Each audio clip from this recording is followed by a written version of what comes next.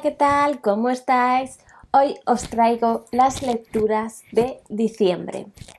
En diciembre leí 7 libros y dejé dos a medias. Empecé el mes leyendo Carol de Patricia Highsmith. Si ya habéis visto mi top de favoritos de 2021, entró dentro de mi top.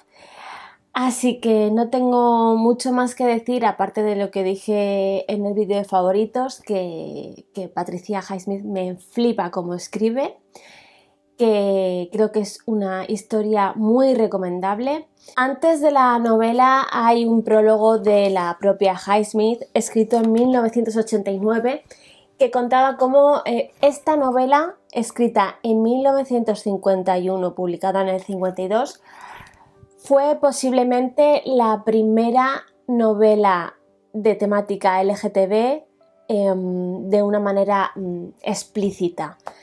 Así que creo que es una novela muy importante, un referente y os animo mucho a leerla si, ya habéis leído otras obras de Highsmith.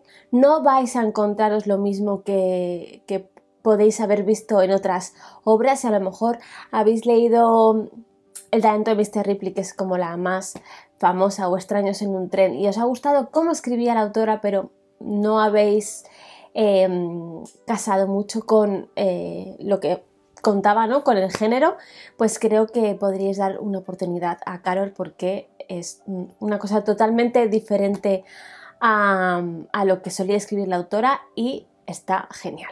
Llegué un poco tarde, pero entró dentro del plazo. Y es que, como sabéis, el año pasado yo me propuse leer un libro de Stephen King al año mínimo. Este año, como tengo más, creo que ampliaré eh, el número de lecturas, pero bueno, me he puesto uno mínimo. Y en diciembre leí Carrie, que además fue una lectura que ya decidí cuando el año pasado leí Misery, ya decidí que esta sería mi siguiente lectura, porque a mí la adaptación de Palma me gusta mucho las otras no las he visto, así que no puedo opinar, pero sí que vi eh, la adaptación de Palma y me gustaba mucho. No solo la adaptación, sino que quería conocer más de la historia porque Carrie me parece un personaje muy, muy interesante, muy potente y a mí la novela me ha gustado mucho, a pesar de que mm, se diga ¿no? de, de esta novela que es una de las menores de King y demás, pero a mí me ha gustado muchísimo cómo trata el tema del bullying y la maternidad y mm, los fanatismos y demás. Y no sé, me ha gustado mucho. De hecho, se me hizo, o sea, me la bebí. Me hubiese gustado que Carrie fuese un tochal de esos de los típicos de Stephen King para leer mucho a Carrie. Otra novela que entró dentro del top de mis favoritos fue Ellos dos de Joanna Ras. Esta es la tercera novela que leo de la autora. Aquí nos vamos a encontrar una historia de viajes, no, no tanto temporales, los llama transtemporal porque se viaja entre mundos pero como que cada mundo está en un punto y eh, como son como muy parecidos a la Tierra, pero en puntos diferentes. Em, en uno la religión del cristianismo ¿no? es la, mayoritaria, pero en otro es la musulmana.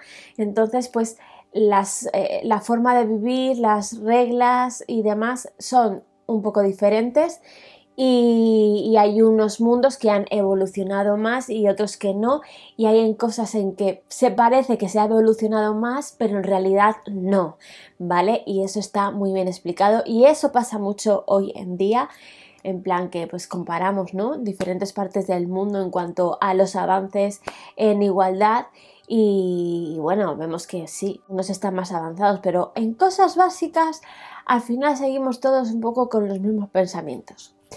Y nada, me parece magnífica como todo lo que escribe esta mujer. Eh, me ha resultado de las tres obras que he leído la más sencilla, así que yo la recomiendo como la, si queréis em, eh, adentraros en Joanna Ras, empezar por esta si la podéis conseguir, porque es una novela corta, con pocos personajes que se lee muy bien.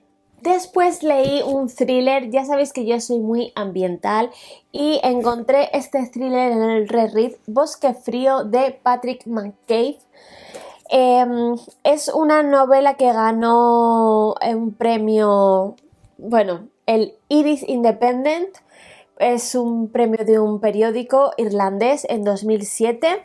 He leído críticas horribles sobre esta novela y a mí me gustó. Em, es verdad que es un poco complicada porque eh, la narración no es lineal, em, hay eh, saltos temporales porque durante toda la novela estamos viendo, o sea, estamos conociendo la historia a través de los ojos de un personaje. Y este personaje pues eh, tiene muchos recuerdos de su infancia, va y viene a diferentes puntos de su vida y vemos en este personaje una evolución para bastante mal, o sea, una, una, una involución hacia el mal que lleva dentro, podríamos decir. Y entiendo que haya gente que no le haya gustado porque como lo vemos todo desde el punto de vista de esta persona, claro, él nos habla en plan convencido de sus pensamientos y que él opina esto de tal cosa y de esto tal cosa, entonces, claro, tú lo estás leyendo y piensas, pero ¿qué me estás contando? O sea, ¿cómo puede ser que te parezca normal esto? ¿Cómo puede ser? O sea, o sea, no ves que no, pero claro, es que, mm, o sea, nos estamos adentrando dentro de la mente de un psicópata. entonces, mm, creo que está muy bien, muy bien llevado y a veces está bien, ¿no? Como conocer la parte no solo de las víctimas, sino de, de la otra parte, ¿no? No entenderle, simpatizar, pero pues comprender un poco el por qué esas personas actúan como actúan y, mm, según su educación, su cultura, su forma de haber vivido, pues para ellos lo que hacen no está mal. Entonces ya a veces tiene que ver mucho con el concepto eh, del bien y el mal eh, lo que cada persona cree que es el bien y el mal, lo que cada persona cree que está bien y que, y que está mal, me estoy repitiendo mucho. Pero me entendéis, ¿no? Eh, yo sí que lo recomiendo, es muy cortito. El único fallo que le pude ver es que es verdad que esos saltos pues a veces te liaban un poco, pero bueno, por lo demás creo que es un personaje que está muy muy bien construido. Después de, esta novela tan que me dejó de bajona total, pues yo necesitaba algo mm, confortable. ¿Qué diréis? Confortable, joder, Laura. Perdón. Confortable, nieve cristal manzanas. Eh, me habré leído este relato 50.000 veces, es el relato que más veces me he leído de Gaiman. Me lo sé de memoria, casi no, pero casi. Entonces, como no había leído esta mm, versión en cómic, pues, eh, pues me lo volví a leer para decir, estoy aquí a gustito feliz viendo cómo esta persona hace cosas malas. No voy a decir nada. y así entrando en la Navidad, leí Breve Historia de la Navidad, que pues como su nombre indica, es una breve historia de la Navidad.